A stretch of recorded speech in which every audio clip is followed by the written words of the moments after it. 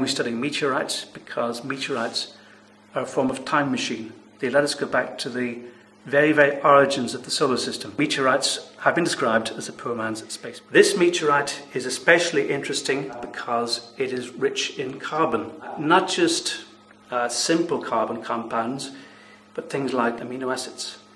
And these are profoundly important in the context of the emergence of life. Uh, amino acids are the building blocks of proteins. No proteins, no amino acids, no proteins.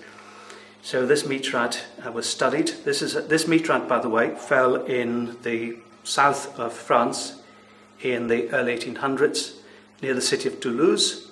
And it was studied at the time by none other than the probably the most famous scientist of the time, Louis Pasteur. Now, Louis Pasteur was a chemist and he drilled little holes into this meteorite to see if he could detect microbes, which he did not. And based on his investigation, he came to the conclusion that this meteorite at least was sterile, devoid of life, extant or extinct. This is a bog standard chondrite meteorite, and this comes from Colorado in the United States. It's a stone meteorite, and you might see that it's been sliced in half so that the inner part can be studied macroscopically and microscopically using a petrographic microscope. It has got a number of unique components, such as little inclusions of nickel iron, which you would never see in earthly rocks. And these were formed 4.6 billion years ago at the birth of the solar system itself. This is a piece of basalt from the Antarctic.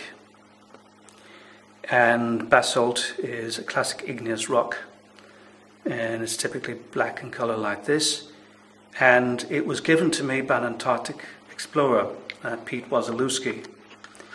And this is interesting for several reasons. Number one, the origin being Antarctica, as opposed to some place like Hawaii, where fresh basalt is literally formed every day and flows into the sea.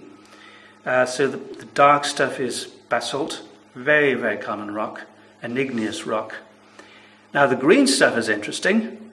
This is what's known as olivine a common ferromagnesian silicate.